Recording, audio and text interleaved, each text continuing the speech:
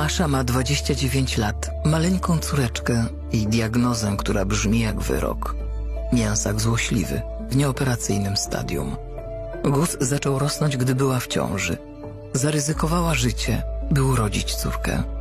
Teraz marzy, by towarzyszyć jej w poznawaniu świata. Medycyna zdaje się być bezradna.